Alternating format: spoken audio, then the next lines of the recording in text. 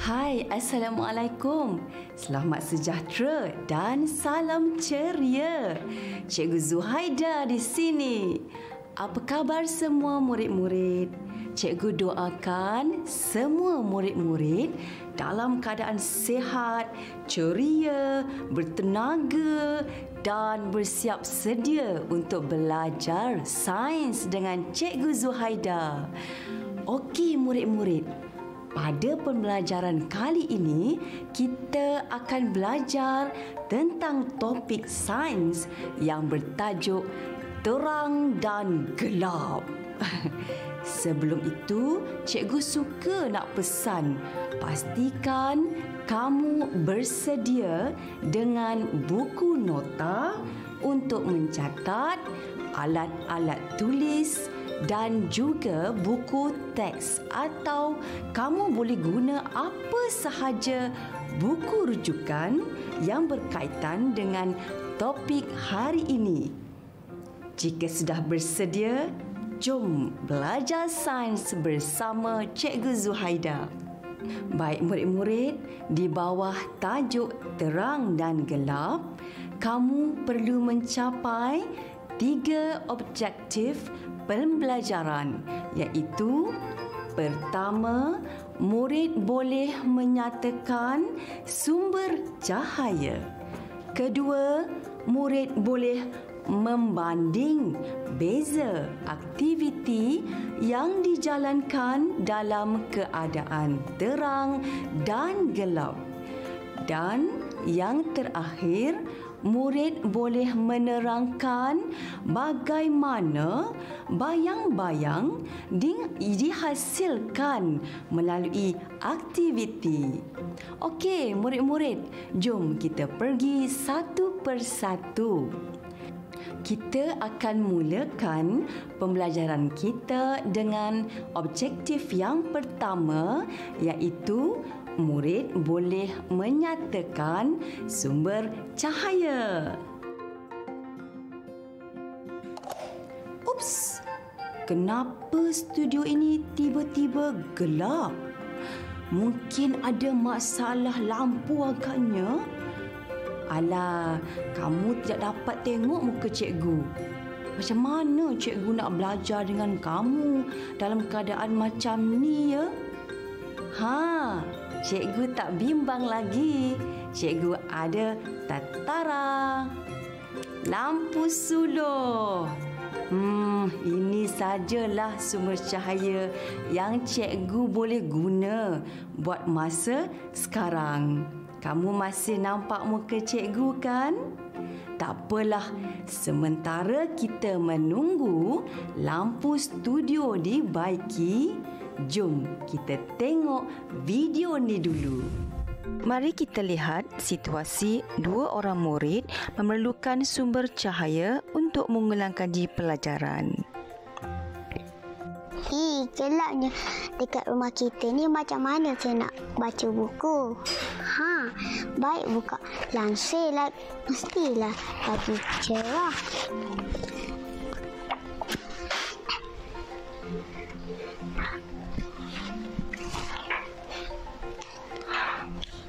Wah, cerahnya matahari. Baru senang nak baca buku. Gelapnya. Macam mana saya nak baca buku ni? Kena hidupkan lampu lah. Ha, baru terang. Bolehlah saya baca buku. Murid-murid, berdasarkan video tadi, kita boleh nyatakan bahawa sumber cahaya yang penting adalah cahaya matahari, lampu dan api.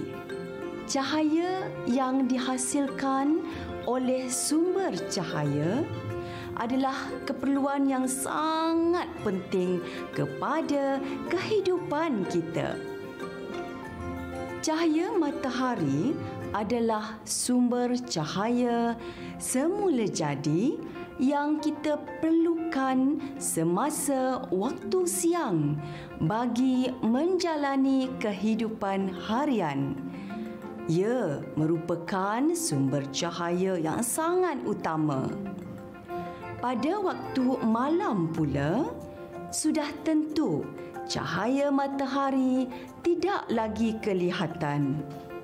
Oleh itu, kita perlukan lampu dan nyalaan api untuk menerangi kawasan yang gelap.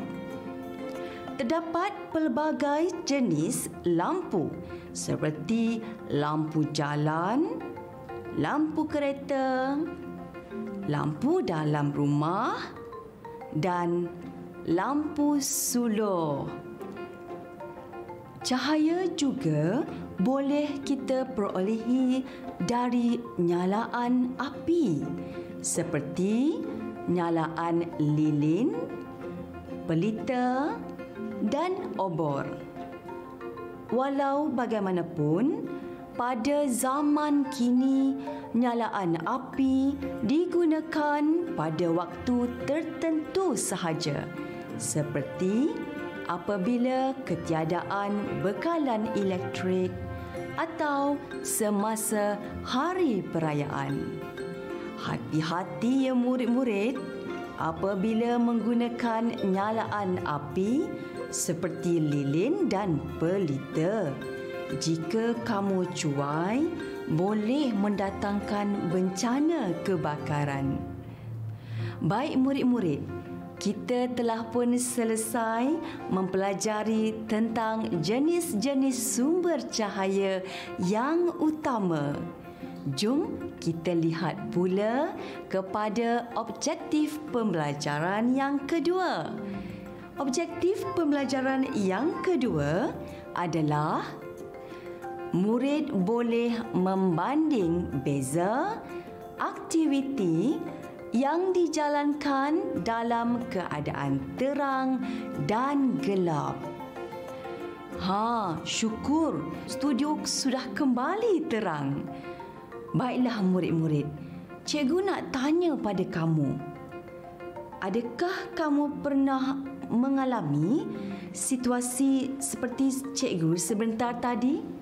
di mana secara tiba-tiba bekalan elektrik di rumah kamu terputus pada waktu malam. Suasana menjadi gelap kerana lampu terpadam. Sedangkan ketika itu, kamu harus siapkan kerja-kerja sekolah yang diberikan oleh guru kamu.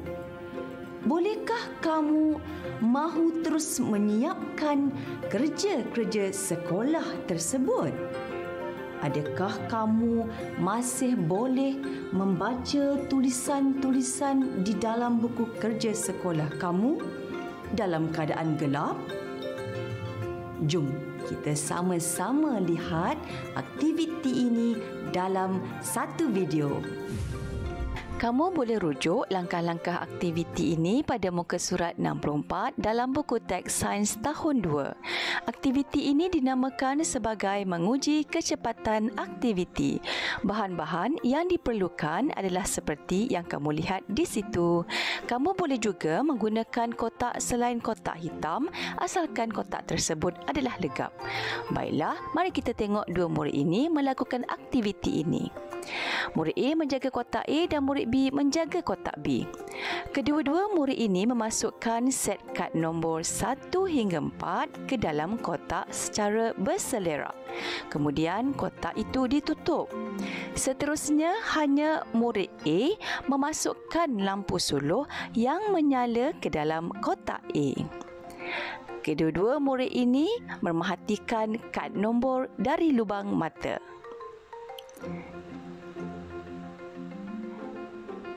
Seterusnya, secara serentak, murid A dan murid B mengeluarkan nombor secara berturutan dan terus menampalkan nombor tersebut di kertas jawapan biru.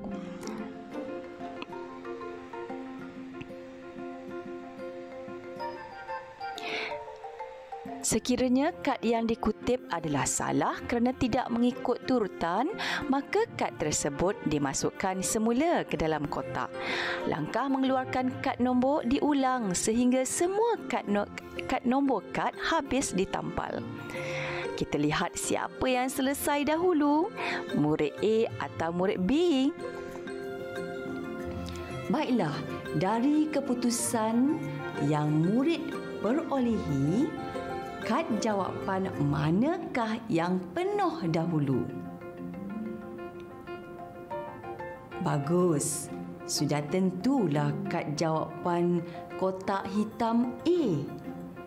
Kad jawapan yang manakah pula lambat dipenuhkan? Ya, pandai. Betul, kad jawapan B. Oh, kelihatan murid A terlebih dahulu selesai menampalkan kad nombor secara berturutan. Kemudian baru diikuti oleh murid B. Jadi, apakah alasan kamu untuk aktiviti ini?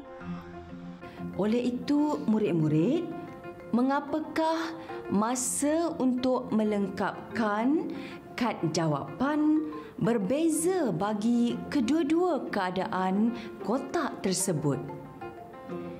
Sudah tentulah masanya berbeza keadaan di dalam kotak hitam B sangat gelap dan menyukarkan murid tadi untuk mencari kad nombor di dalamnya. Maka masa yang diambil untuk penuhi kad jawapan sudah tentu menjadi lambat.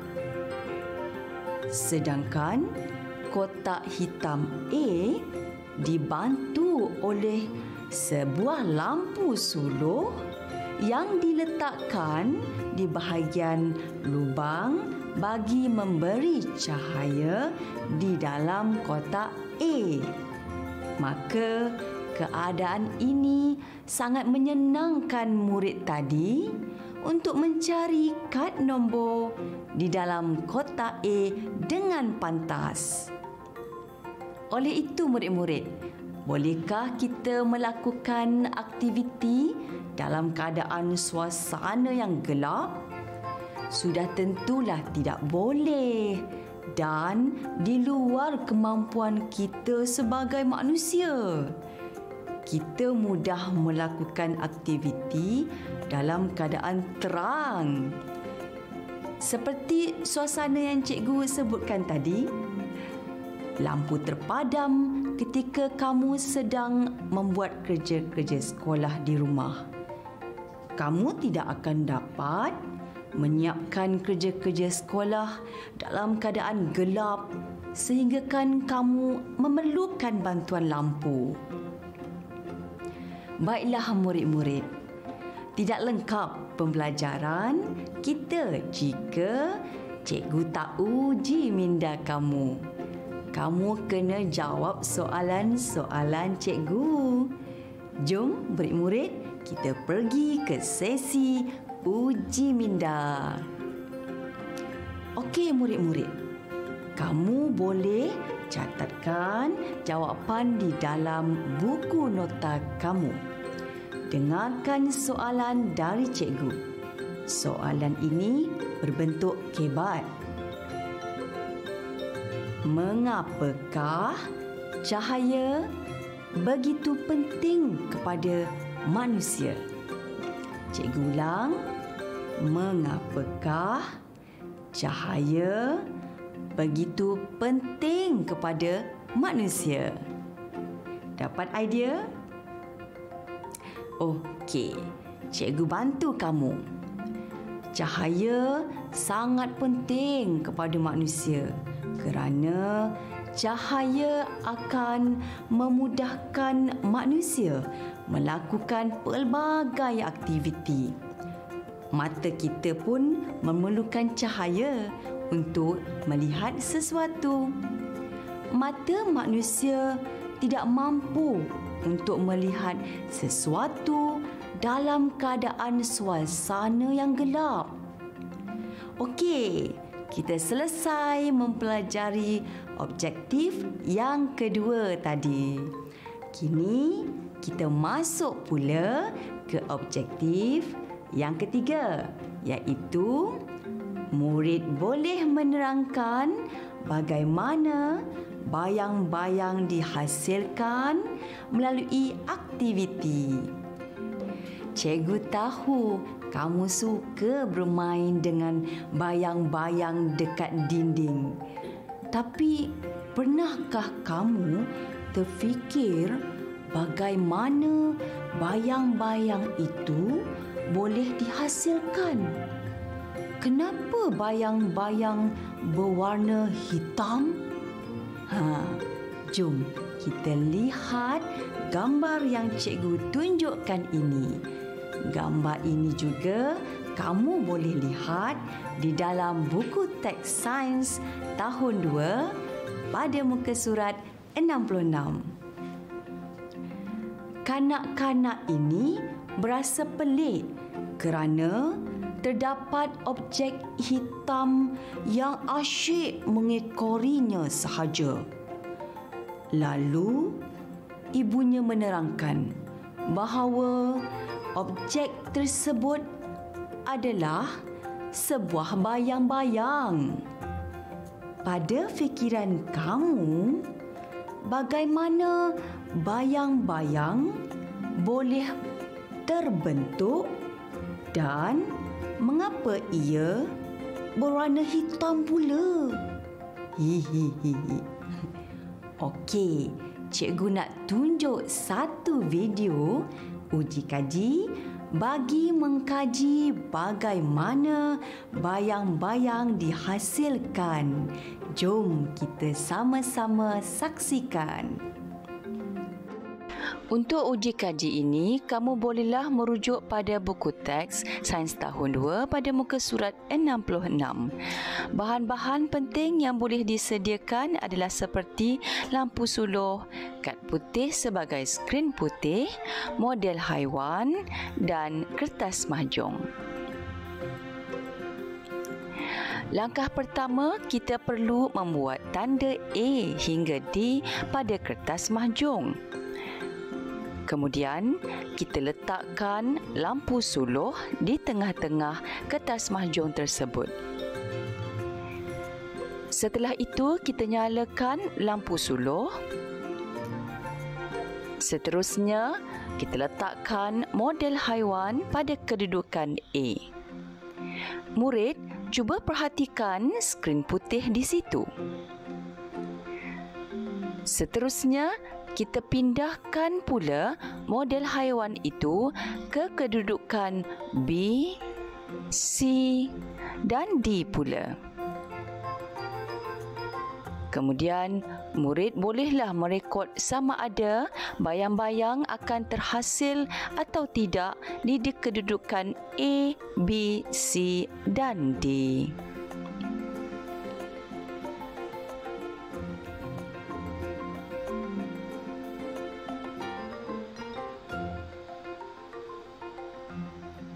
Baiklah murid-murid, di manakah kedudukan model haiwan itu yang menghasilkan bayang-bayang? Oh, bila kamu lihat bayang-bayang di skrin putih, model haiwan itu berada di kedudukan B. Okey, dari keputusan yang ditunjukkan ini, kedudukan model haiwan yang berada di kawasan B sahaja yang akan menghasilkan bayang-bayang. Ha, cuba kamu teliti betul-betul pada fikiran kamu mengapakah hanya model haiwan di kawasan B sahaja yang boleh bentuk bayang-bayang? Tetapi, mengapa di kawasan lain tidak pula timbul bayang-bayang dari model haiwan yang sama? Ya, murid-murid, bayang-bayang terhasil apabila cahaya dihalang oleh objek model haiwan tersebut. Lampu suluh dipasang tetapi diletakkan menghala ke kawasan B sahaja. Oleh itu, permukaan legap model haiwan telah menghalang sinaran lampu suluh itu dari terkena pada kad putih di kawasan B.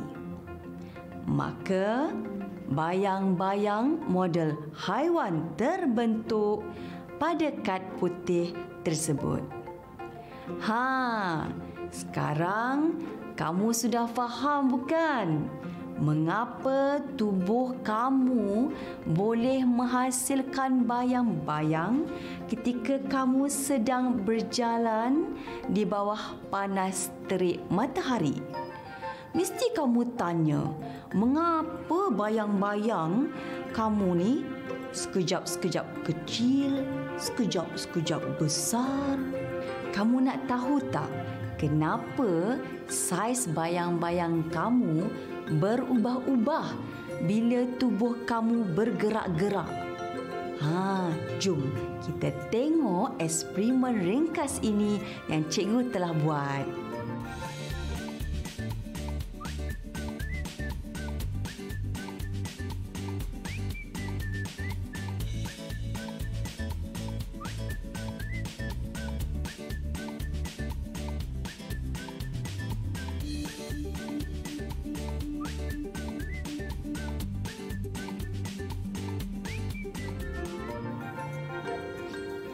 Jika murid teliti eksperimen tadi, apabila cikgu dekatkan gelas dengan cahaya, saiz bayang-bayang jadi besar.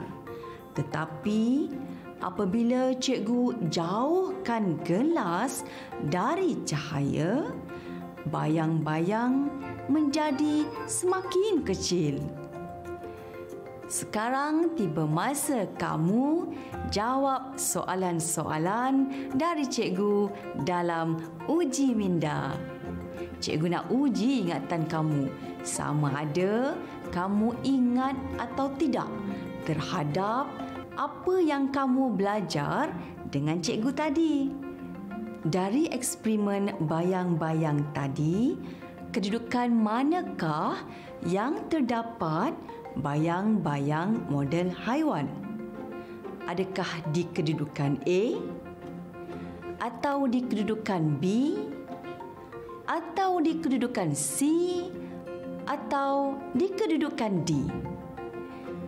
Kalau kamu ingat apa yang kamu pelajari tadi, tentu kamu dapat menjawab dengan betul. Hmm, ya, daripada betul adalah kedudukan B. Bagus kepada siapa yang jawab dengan betul. Soalan cikgu yang seterusnya. Susah sikit tau. Tapi tetap ada pilihan jawapan. Jadi, kamu hanya pilih sahaja jawapan yang betul. Dengarkan soalan dari cikgu. Bagaimanakah bayang-bayang dapat dihasilkan? Cikgu ulang. Bagaimanakah bayang-bayang dapat dihasilkan? A. Objek dihalang oleh cahaya atau B. Cahaya dihalang oleh objek.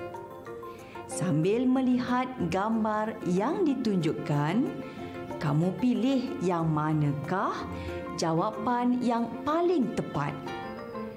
Pilihan jawapan agak keliru.